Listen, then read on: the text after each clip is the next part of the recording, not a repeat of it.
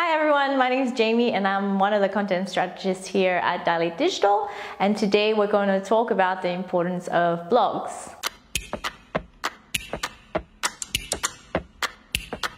So you might wonder whether people actually still read blogs anymore and as a matter of fact, the answer is yes. About 77% of internet users actually read blogs regularly. So why are blogs so important for your business? Firstly, creating engaging content can help build brand awareness and show expertise on your services or products. Targeting the right keywords on your blog content can help drive relevant traffic to your website and help with your broader SEO strategy.